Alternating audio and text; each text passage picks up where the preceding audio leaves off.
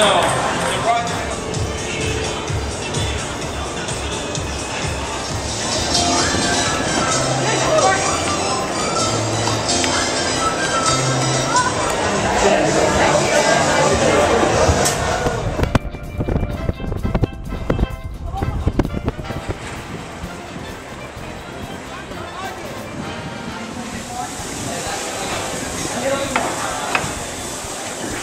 Having breakfast or brunch at 11 o'clock in the morning.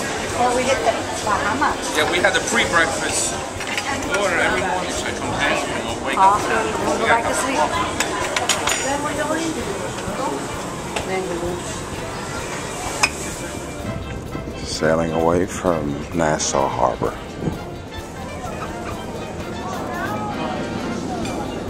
Miami, getting ready to disembark off the Norwegian sky. Had a nice fun weekend. Ships being set up for the next sailing.